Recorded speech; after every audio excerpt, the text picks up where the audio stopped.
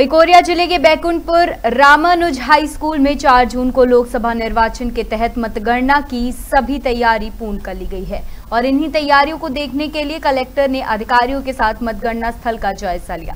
आपको बता दें कि कोरबा लोकसभा सांसदीय क्षेत्र के अंतर्गत कोरिया ज़िले के बैकुंठपुर रामानुज हाई स्कूल में 4 जून को सुबह 8 बजे से मतगणना शुरू हो जाएगी, जिसमें कुल 14 टेबल में 17 राउंड काउंटिंग होगी। वहीं पुलिस प्रशासन ने भी मतगणना को देखते हुए शहर में यातायात दबाव नियंत्रित करने रूट डाइवर्ट किए हैं।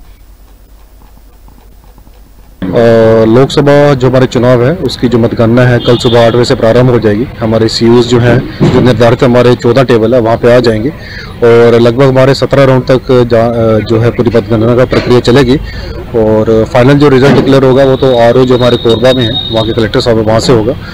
प्रयास रहेगा कि जितना स्पीड अप करके हम काउंटिंग कर सके वैसे करेंगे। और काउंटिंग एजेंट्स के लिए भी हमने प्रॉपर सूचना उनको दे दी है कि उनका प्रवेश कहाँ से रहेगा प्लस हमारा काउंटिंग स्टाफ का प्रवेश कहाँ से रहेगा। और पूरी कानून व्यवस्था के पॉइंट ऑफ़ व्यू से भी एसपी साहब के साथ अच्छे से हमने कम्युनिकेशन की है और एक अच्छा प्लान हमारा बना है। और जो यहाँ पे थ्री टायर हमारी सिक्योरिटी रहती है काउंटिंग के पॉइंट ऑफ़ व्यू से, वो भी हमारी इन प्लेस है। और किसी प्रकार की कोई दिक्कत नहीं आएगी।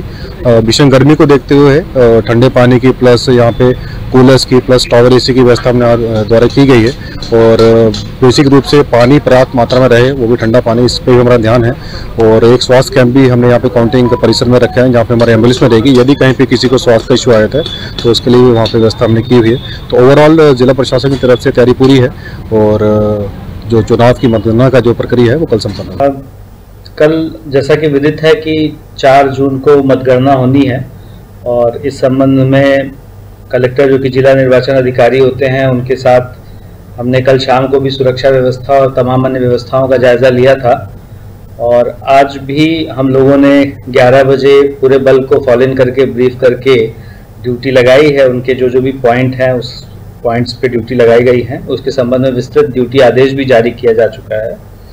और कल सुबह चार बजे से सभी लोग अपनी ड्यूटी पे, ड्यूटी स्थल पे लग जाएँगे। इसमें होमगार्ड को भी नियोजित किया गया है और यातायात बल को भी नियोजित किया गया है। बाकी कुल मिला के करीब डेढ़ सौ लोग हैं। उसमें क्यू आर टी है एंड ए डी पार्टीज़ है, रिज़र्व का बल भी है। मतगणना केंद्र के आसपास अनावश्यक आवाजाही और भीड़ वगैरह ना हो। इसके लिए जो है रूट डाइवर्जेंस प्लान किए गए हैं। भारी गाड़ियों का प्रवेश भी शहर में उस समय प्रतिबंधित रहेगा।